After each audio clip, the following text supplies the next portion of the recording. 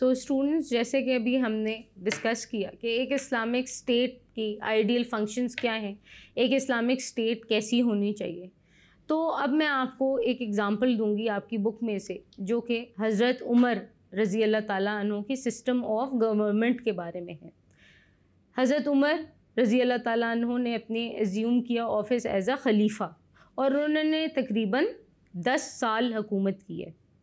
History में जब उनका नाम लिया जाता है तो उन्हें दुनिया के मशहूर तरीन रूलर्स में से और कॉन्करर्स में से समझा जाता है। उसके अलावा उनका जो तौर तरीका था, एक स्टेट को चलाने का तो उन्होंने बहुत ही अच्छे तरीके से इस्लाम के तमाम तर प्रिंसिपल्स को मद्देनज़र रख के अपनी हुक्मरानी की, और वो आज तक पूरी दुनिया में मकबूल है। उसके अलावा स्टूडेंट्स आपको ये पता होना चाहिए, हज़रत उमर रज़ी अल्लाह ताला अनहो जो हैं,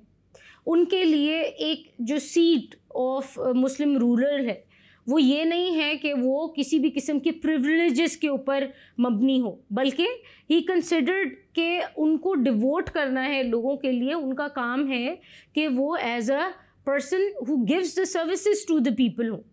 ना कि जो कि आजकल आप अनफॉर्चुनेटली देखते हैं कि आजकल जो हमारे मुल्क में हालात हैं, वो ऑन द अदर हैंड बिल्कुल डिफरेंट हैं। जो आपके प्रोटोकॉल सिस्टम आ गया है, जो जैसी सारी ट्रैफ़िक रोक दी जाती है, कोई आता है तो तो इस तरह के प्रिविलेजेस का कॉन्सेप्ट नहीं था, बल्कि अगर हम हज़रत उमर रज़ी अल्लाह ताला की दौर हुकूमत को देखें तो उसके अंदर हमें पता चलता है कि उन्होंने लोगों के लिए या अपनी रियाया के लिए बे